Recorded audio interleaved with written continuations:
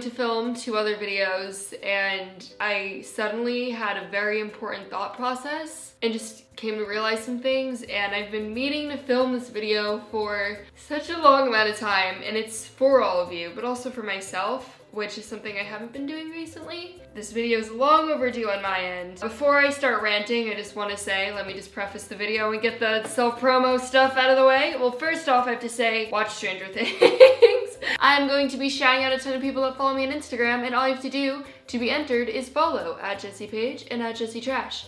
Here you go. Here's some people that follow my page and my trash. And also, I am going to be giving away my book to a ton of people that follow on Instagram. If you really appreciate sit down videos like this, if we could get this to 30,000 likes, just if you will support me no matter what, just to show me that, let's get started. So, my channel is all about positivity, positive views on mental health, bringing exposure to important topics, and good memes.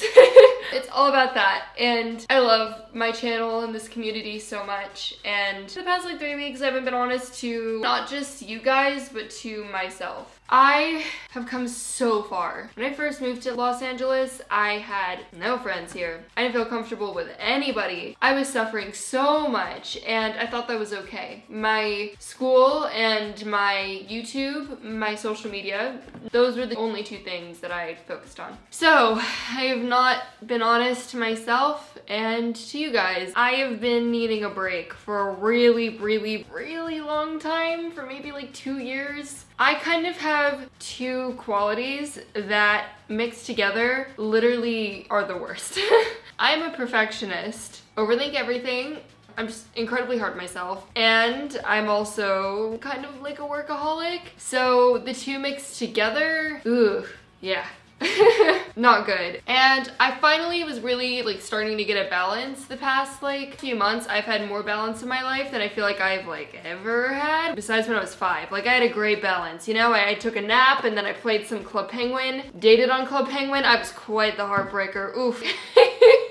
I've actually had the idea to do this for a long time because I've known of how to do it, but I haven't like admitted it to myself. I've been like, no, like I'm, I'm doing too well and I'm too happy right now. And the thing is, one super important thing that I need to remind myself sometimes is even if your mental health is good in the moment, it doesn't mean that you shouldn't take care of it. You know what I mean? Like I'll be thriving and happy. Yeah, I don't need to take time for myself. Like I'm, I'm happy. I let it build up and then I don't take care of myself until things start falling apart. I'm pretty sure a lot of you guys can probably relate to that. And one of the things that I've probably had like the most issues with is, I guess, social media, my job. I went on a really long rant on Twitter. I said, I really need a break of social media. Jeez, I did a typo! Oof. I really need a break from social media recently. It's been a huge trigger for my anxiety and it's been unhealthy. I've isolated myself from living life a lot the past few weeks because of social media as well. Please respect this for me.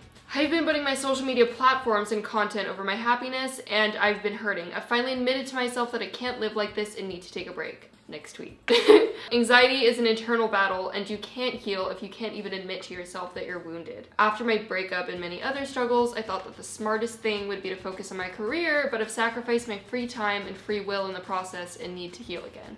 Damn, I went off on Twitter. I genuinely care so much, not just about my channel, but my community. The past like five months, I've just been uploading content purely for this is what I like and this is what I think you will like. And if YouTube isn't gonna support my content, screw it, we have each other. I care about my people and at the end of the day, that's what I have. If YouTube falls apart, I have faith that you guys will be here with me. I know it. Because of that, I feel this constant need, I guess, to give back, but I give so much of myself in various ways, physically and just like mentally, to not only just my audience, but my social media platforms, that it deteriorates from my life and from my own happiness. And the past three weeks, I've been really letting that happen because I went through a really bad week. Multiple, multiple things. Like, it wasn't just a few things. It was YouTube decided that I was no longer able to upload content, which is incredibly scary and I wasn't getting any response and that's frightening because I don't know if that's ever gonna get fixed and I've said this multiple times but the trigger for my anxiety is not having control over situations and that is like not having control over your career. I've worked so hard to build up this platform and that's like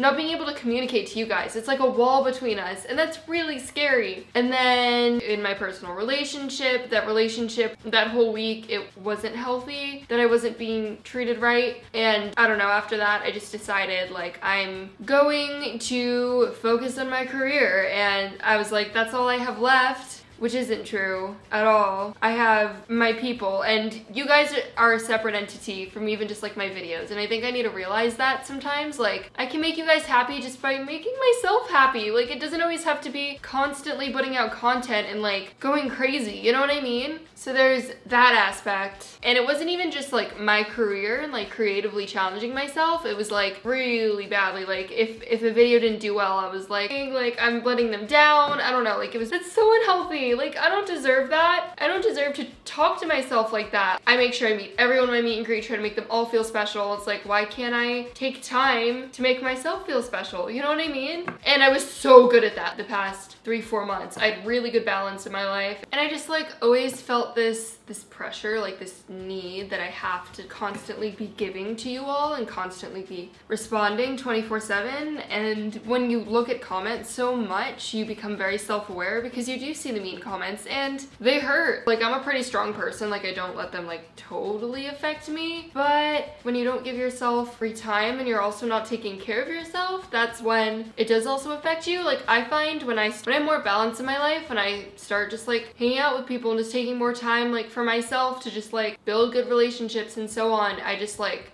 am a better and stronger person and when I don't treat myself right, mentally I'm weaker. It makes sense.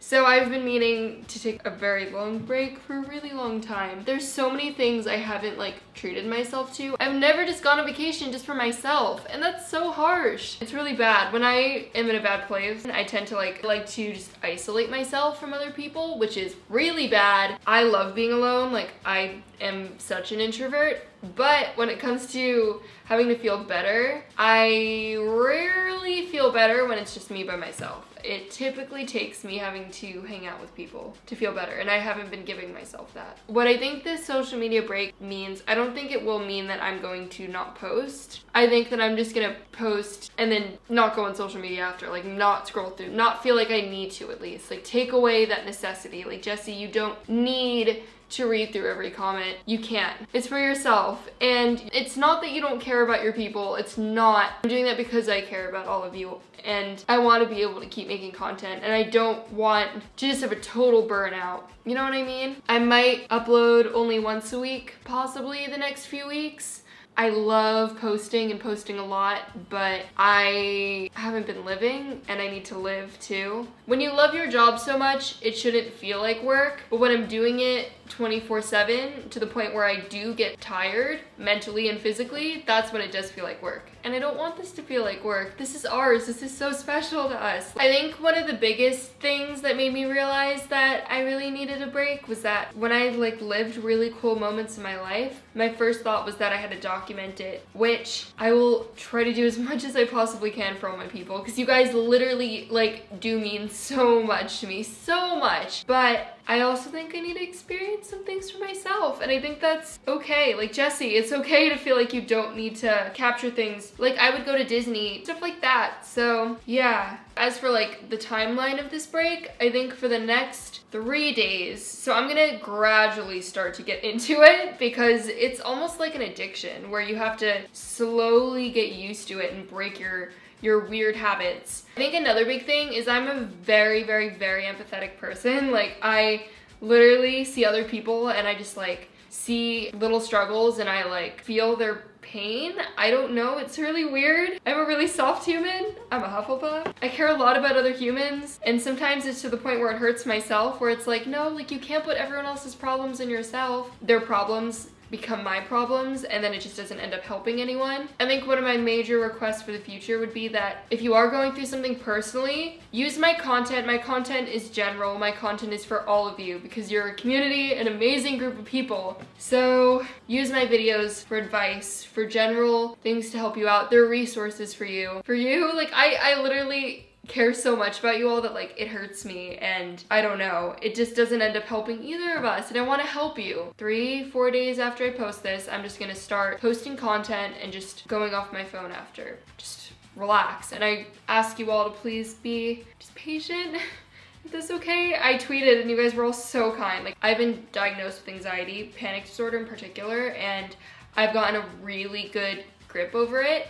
But I have found that like social media has become like a new trigger and the issue with some triggers it's like you can't escape it. Like I want to keep posting for you all but I think I just need to like find a way to make this thing in my life a bit more mentally easy on me. That makes sense? Yeah. a lot of my tweets are very educational and I think something you might not realize but people that are close to me know this. A lot of my tweets are actually directed at myself. I don't follow my own advice a lot.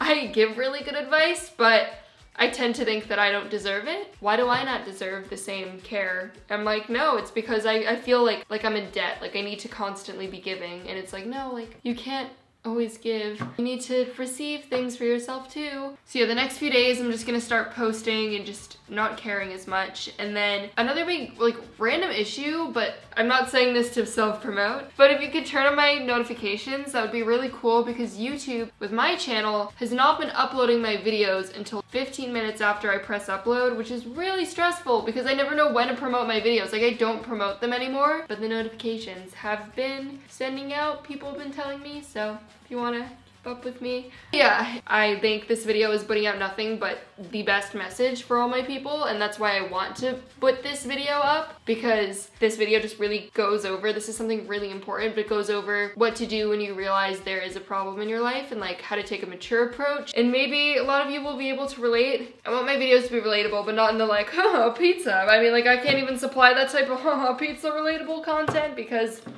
I'm vegan. We stand. Ow. I love how that's our new inside joke. I stand. Ow. don't be alarmed if I post a YouTube video and I totally don't promote it after. It's probably because I'm trying to just breathe and just accept that I tried my hardest to put out the best content for my subscribers. Genuinely, I make none of my money from the amount of views I get. Like the amount of views is so irrelevant, but it's just the fact of like, I don't know, like I'm disappointing them. Like that hurts me more. Today was a realization and I want all of you to take care of yourselves in some sort of way. Please, I care about you all. Stay hydrated, listen to a good song, call your parents, tell them you love them. I mean, I've been told I'm a daddy, so if you want to call me, uh, what? That was weird. but I hope you guys enjoy. I hope you guys liked this. And I just want you to remember that I love you all and I stand this fandom. Ow. it really hurt. Okay. I love you all. I'm going to feature your posts and your pages. Thank you. And I'll see you guys in the future. Whee!